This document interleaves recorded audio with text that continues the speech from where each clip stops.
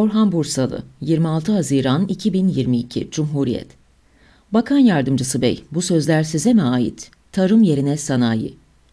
İnsanın küçük dilini gerçekten yuttuğu olağan dışı tıbbi durumlar vardır. Şaşkınlıktan bu olur mu bilmiyorum ama bu deyim konuşmamaya denk gelir.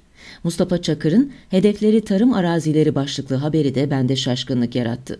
Endüstri Bölgeleri Yasası görüşmelerine Sanayi ve Teknoloji Bakan Yardımcısı Hasan Büyük'te de katılmış. Ben konuşmasıyla ilgiliyim. Kimler laf attı, neler konuşuldu bilmiyorum. Hasan Bey aslında bir gerçeği dile getirirken diğer gerçeği ise batırıyor. Diyor ki sanayimizin kapasitesi az. Doğru, bunu da sanayinin toplam kuruluş yüz ölçümlerinin azlığı ve kıyaslayarak yapıyor. Doğru ve ilginç. 110 bin hektar organize sanayi bölgemizle birlikte toplam 280 bin hektar sanayimiz var. Atla deve değil. Şu anda endüstrisi zayıf ülke grubundayız. İtalya kullanım alanı küçük ama 650 bin hektar sanayisi var. Fransa'nın 922, Almanya'nın 1,5 milyon hektar. Bakan Yardımcısı Bey çok kaba bir yaklaşımla o ülkelerin adam başına milli gelirini sanayi yüz ölçümleriyle orantılıyor. İtalya 31 bin dolarlık, Almanya 46 bin dolarlık, Fransa 39 bin dolarlık. Büyük yanlışlar başlıyor bu saptamayla. Bakacağız ve devam ediyor. Türkiye ise 8500 dolarlık fakirlik sınırı içinde gidip geliyor dedikten sonra sanayi bize 280 bin hektarla 300 milyar dolar getiriyor. Tarım alanımız 230 bin kilometre kare yani Türkiye'nin yüzde 30'u ama bize getirdiği 50 milyar dolar tarım tarım diye bağırıyoruz çağırıyoruz da durum bu diyor. Burada da birden fazla hem de büyük yanlış var.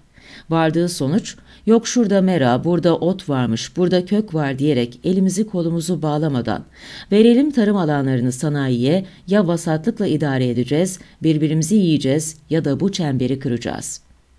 Burada da yanlışın şahını yapıyor. Adeta veya tam olarak ya sanayi ya tarım noktasına gelerek. Bakan Yardımcısı Bey, 20 yıldır iktidardasınız. Türkiye'nin adam başına milli gelirini nasıl 8500 dolarda tutmayı başardığınızı, bu konuda yaptığınız yanlışları anlatarak bundan sonraki yolda ülkeye ışık tutmanızı istemek haksızlık mı olur?'' Bakan Yardımcısı Bey, sanayiyi, muhalefet, sizden önceki iktidarlar veya her şeyin müsebbibi dış güçler mi küçülttü? Veya gelişmesini 280 bin hektardan 600 bin hektara çıkmasını, 300 milyar doların 600 milyar dolara yükselmesini engelledi.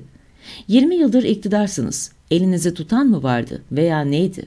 Sanayinin payı sizden önce 1998'de gayri safi yurt içi hasıla içindeki payı %25.06 idi. Siz Türkiye'yi aldınız, sanayisizleştirdiniz. Bu payı %18,5'ların altına kadar düşürdünüz. Yağ inşaat Resulullah politikasıyla.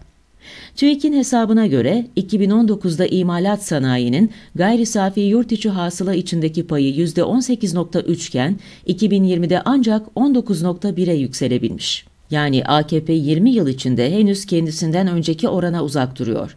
Burada söz konusu genel sanayinin payı ise Çevre Bakanlığı'nın sitesindeki tabloya göre pay 25.6 olarak alınıyorsa AKP kendisinden önceki oranı ancak yakalamış demektir.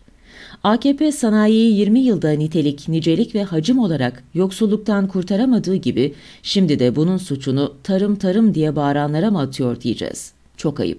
Şimdi bu konuları nitelik, nicelik, hacim, yanlış kıyaslamalar, yanlış tarıma saldırmalar ve benzeri açılardan inceleyeceğiz. Orhan Bursalı